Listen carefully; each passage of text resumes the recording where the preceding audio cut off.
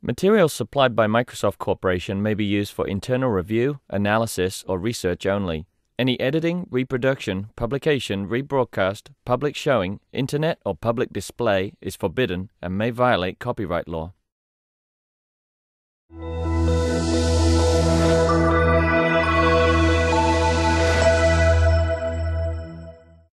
Thank you, Kenji, for your introduction. And good afternoon. My name is Youngryul Ryu from South Korea, Seoul National University, and I'm the ecologist. And my partner is Marty Humphrey. He's from University of Virginia. He was supposed to be here, but he left earlier for the emergency. And in this presentation, I will talk about how to use Fetch Climate and Modis Azure system to accelerate visualization and data analysis of terrestrial carbon and water fluxes. Let me start with uh, thank to my collaborators. This is teamwork. This is not my own work. This is a teamwork. First, Miran and Wenming and Dennis coordinated this project. And uh, a series of Fetch Climate folks helped a lot. Kenji, Sergei, Sadia, Bill, Vasily, Drew, and Dmitry. And my student at SNU, Suhyun, and my the kind of mentor in science, the Catharine Van Ingen. He was a former folk in Microsoft Research. Let me introduce from a brief history of Modis Azure because this talk is the integration of the Fetch Climate and Modis Azure. So let me start with uh, what is Modis Azure. Uh, before to do that, I will briefly explain what I am studying. I'm the ecologist, and I am studying the water, water and carbon fluxes in the terrestrial ecosystems. Uh, two many, the two major variables uh, in my research study is ET and GPP. ET is evapotranspiration. It is the sum of evaporation and transpiration. And between them, the transpiration accounts for 80 to 90% of global ET, so it is the dominant component in ET. And GPP is gross primary productivity. It is the sum of terrestrial photosynthesis. And the CO2 and H2 gas exchanges in stomata. It is a tiny pore in the backside of the leaves, but once it is integrated over leaf, canopy, forest, and global land, it forms, it mainly determines the climate system. Roughly 70% of land, land precipitation returns to the atmosphere through uh, evapotranspiration. There, the red square shows yep, red square shows land precipitation, and global scale 113, and the evaporation is roughly 7, 73, so it was roughly 70%. And why GPP is so important? So this is recently uh, IPCC AR5 report on annual scale. The gross primary productivity is 13 times greater than annual release of um, anthropogenic CO2 release to the atmosphere. We, are, we know the global warming is being accelerated because of the greenhouse gases released by the human. And but that amount is roughly 10 petagram per year. But in global scale, the global land ecosystems absorb 120, 123 petagram carbon. It is a lot. But the problem is there is lots of uncertainty. The range is from 113 through 170 the, the range of uncertainty is much bigger than the CO2 released by the human. So there are two types of ecosystem models. One is the diagnostic model, the other is prognostic model. Drew Purves, I believe he is the uh, expert in the prognostic model, and I think he will talk about the pro prognostic model in his talk. So prognostic model is to use for predict the future. And it typically has a coarse spatial and temporal resolutions, like 100 kilometer, and temporal resolution is monthly. And I will focus on diagnostic model in this presentation. Diagnostic model is needed to understand the past. Typically, it has it requires very high spatial and temporal resolution input data from satellite, and like one kilometer and daily resolution. So to predict the future, we should understand the past. That is the first step to understand the uh, global climate system. Then how to do uh, how to apply the dynamics model in global scale. The only way is to remote sensing data, I believe. And one of them is MODIS. It is onboard Terra and Aqua satellites in NASA. And Terra, Terra, was launched in 2000, and Aqua was launched in 2002. And the MODIS has three disciplines. One is land, and the other is atmosphere, and the other is ocean. In this presentation, I am using the land and atmosphere product. And it produces 285 gigabyte per day per satellite. And the sum of Terra and Aqua gives 570 gigabyte per day. That means if we integrate over the 10 years, then it is roughly 2 petabytes. So this is big data. It is the data-intensive science. So the motivation of this Azure project, it, go, it goes back to 2008 when I was a PhD student at Berkeley. At the time, I wrote the proposal to NASA, and the title was Improving Global Terrestrial Estimates of Evapotranspiration under Climate Change with the synergy of MODIS, FluxNet, and ecophysiological models. Fortunately, that proposal was accepted, but at the time, I had no idea about how much computer resources would, would be needed to achieve that goal. I was very naive at the time. I just I wrote the proposal and it was accepted then. But in reality, it was a very ambitious proposal, but my thesis advisor, he's, uh, he's very respectable and fantastic advisor, Dennis Baldocchi. He's a field guy. He has enough money, but the money goes for the field instrument maintaining the site and purchasing new sensors. And in the office, I was just, I had one PC. That is the only resource that I could use at the time. Then how could use just single PC for the global remote sensing study? And unfortunately, Peng-Gong was, could not make here today, but at the time I visited Peng-Gong, he was one of my thesis advisors at Berkeley. I, I showed my proposal to him, and I, exp I explained, this is my proposal. And Peng told me that you should know computer very well to achieve your goal. In the end, I developed a kind of a coupled uh, ecosystem model. It is a breathing Earth system simulator. It couples atmospheric radiative transfer and canopy radiative transfer, photosynthesis, transpiration, leaf energy balance, and soil evaporation. It is diagnostic model, but it, it is process-oriented by physical model. And how to run this model in global scale. There are several barriers. The first barrier was data size. At the time, it was 2008. The data I downloaded 8 petabyte, the terabyte from NASA FTP to Azure. You might think 8 terabyte is not that big this year because the external hard drive is now 4 to 5 terabyte. But in 2008, that was huge. It was, I could not handle in my PC. And we learned, uh, we downloaded 8 terabyte, but 940 terabyte moved across the cloud computing system. The next barrier was the data download. Uh, Alex and Tony Hey already mentioned Jim Gray, but I think his, his remark was excellent. He, uh, he envisioned that rate of data size increase is much faster than rate of internet speed increase. We ended up taking 55 days to download the data from NASA FTP to the Azure system. Just two months, just download. If we could use the FedEx, then it would take just one day, but NASA did not allow. We just downloaded through internet to the cloud. And the third barrier is the harmonizing the heterogeneous data structures in MODIS.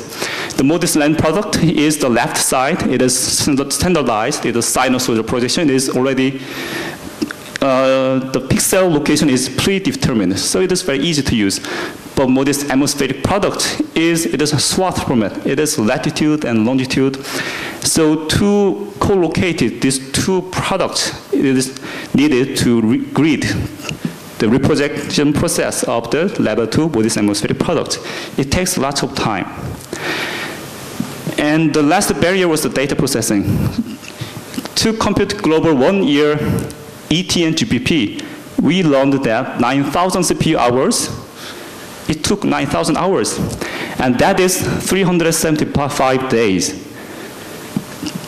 Thus, computing one year data takes one year with one CPU. It is impossible during my PhD course. So we used 250 virtual machines in Azure, and it took only less than two days. So I think the power of the Azure system is it is highly flexible, highly uh, depending on the demand. We can increase the virtual, the size of the virtual machines, and yeah, using of the 250 virtual machines, it was very, it make uh, quickly happen all my products. In 2009, we made a team with this Azure, as I mentioned, the Catharine Van Ingen in Microsoft Research, she organized one team. And in LBL, the Deb and Keith, and in University of Virginia, the Martin Jie. Jie, he is an excellent and fantastic graduate student at the time, and I think he entered Microsoft Research. We made a team, and we had a regular conference call every week, and GLE visited Berkeley in 2009, and we worked together three months. And we, we had a lot of work at the time. The basic idea is I access the web portal and request something, and everything happens in the cloud. Data collection from NASA Active, NASA Active Server to the Azure, and the reprojection in cloud and data analysis in the cloud, and I got the results through the emails. It is highly interdisciplinary project, and also we made very good outcomes. The red color is the computer science uh, conference paper or journal papers, and the black color is by geoscience papers. And of course, we share the co-authorship and we contributed together. It is, it is very exciting uh, opportunity. And that's one example, data processing portal. It is a web interface. One can select year, days, and type of satellite, and location of the tiles, and select the instance of instance number, the number of virtual machines, and request and uh, leave my email, then every result will be delivered to my email address. And I uploaded the compiled exe files to the Azure and then I could monitor the status of the processing almost in near real time.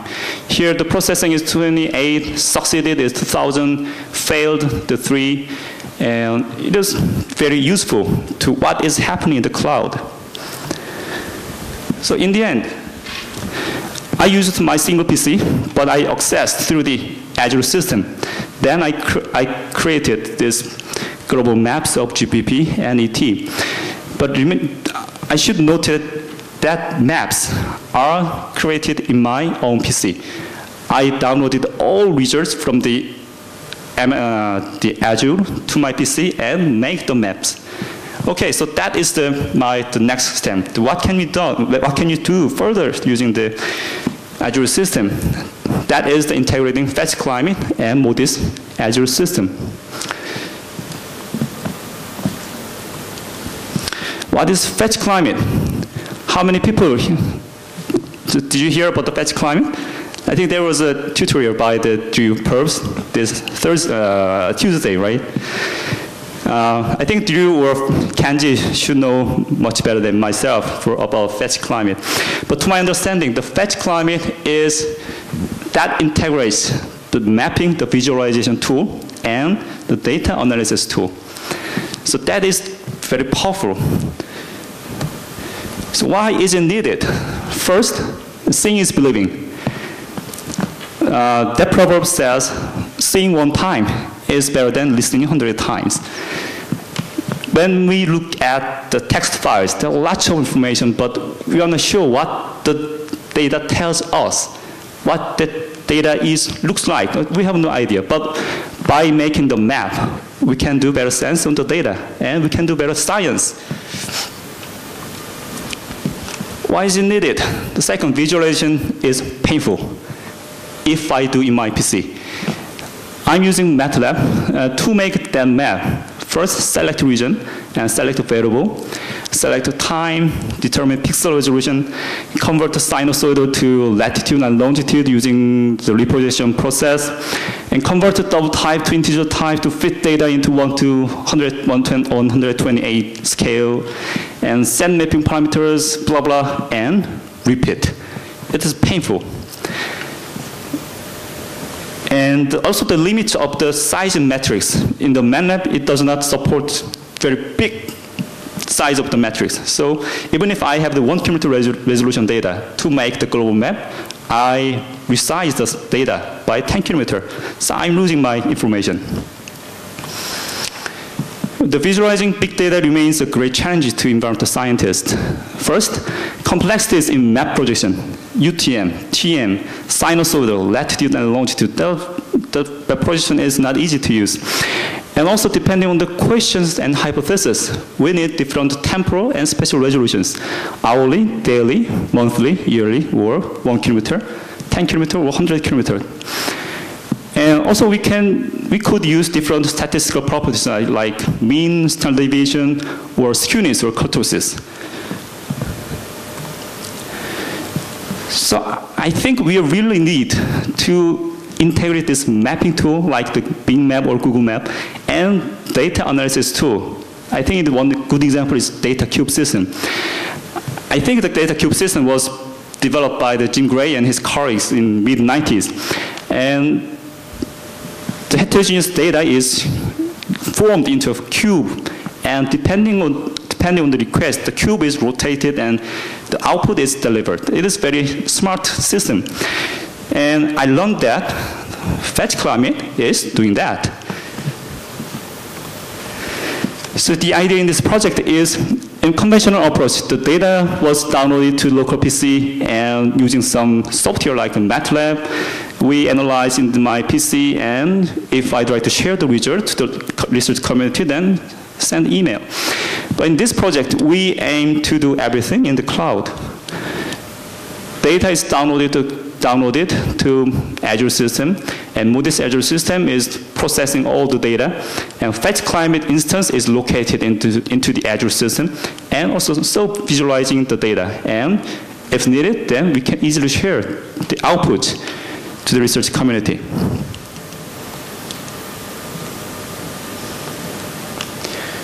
So in this project, as a pilot study, we ran the MODIS Azure system for the global land in 2012. And MODIS data downloaded from NASA FTP server to the Azure. And we computed GPP and ET in Azure and reproject to equidistant cylindrical projection with NetCDF data format that is needed in Fetch Climate. And locate Fetch Climate instance to Azure and visualize GPP, ET, and solar radiation. Okay, I hope Okay, unfortunately, the fetch climate system is still, uh, it looks it is not working. So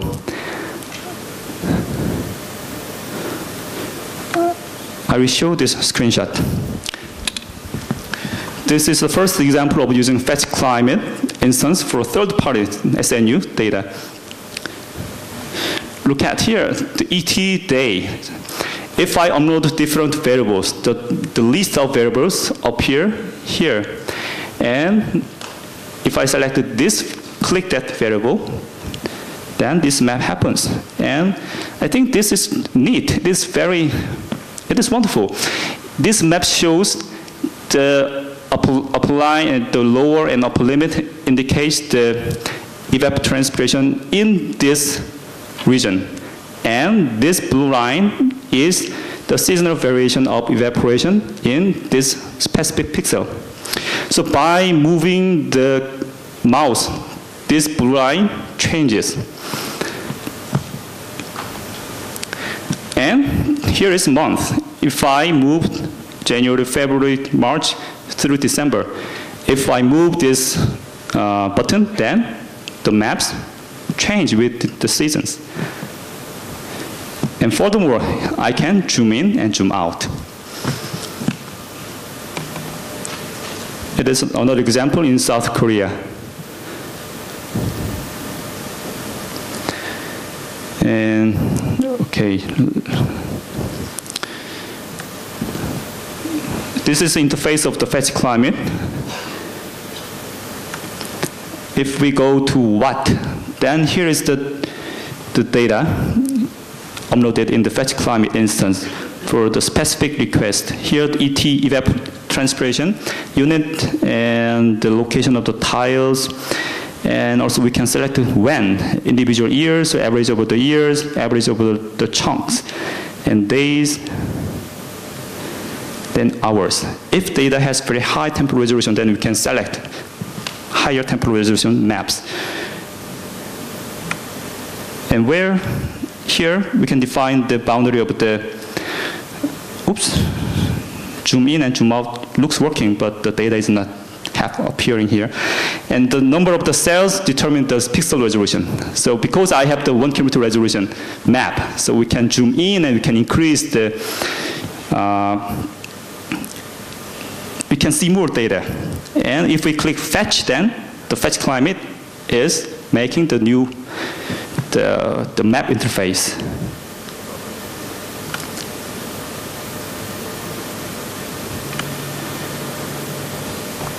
Okay, uh, the demo I was trying to use show the demo, but it looks not working, so I will skip. Okay, the summary and conclusions. The fetch climate enables us to map one's own data, one's own data in the Azure. And the data download, processing, and visualization can be done in the Azure. And global one-year results are in the Azure, but the fetch climate was unable to map the all data, so we just subset like Korea and Mexico. And, but yeah, the fetch climate team is working very hard. And it is still in progress project. Okay, thank you very much.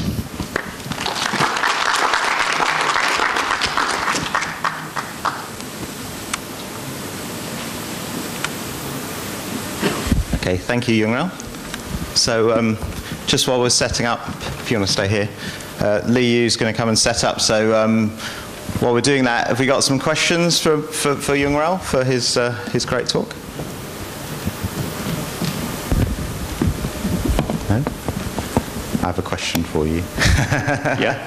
So, so do you think with the Modis Azure, this, this, this idea of using the cloud for environmental science, so that lots of other kind of people in your lab who'd be interested in using this or other collaborators, do you think, this, this way of using the cloud um, for environmental science?